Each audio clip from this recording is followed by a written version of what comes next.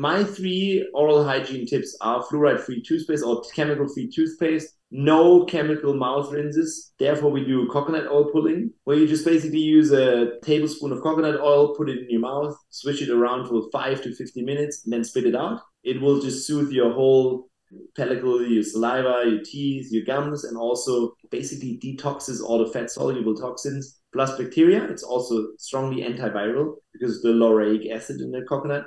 And the third thing is um, a copper tongue scraper. That's the three things I would recommend for oral cleaning, oral hygiene. And and what daily copper tongue scraping? Yes, daily yeah. copper tongue scraping, if possible, daily or every other day. Coconut oil pulling would be great, and once a day brushing would be great. If you have a ton of dental work done, I would probably do twice a day brushing. But if you have perfect teeth like myself, no need to brush if your diet is on point. There is no fur.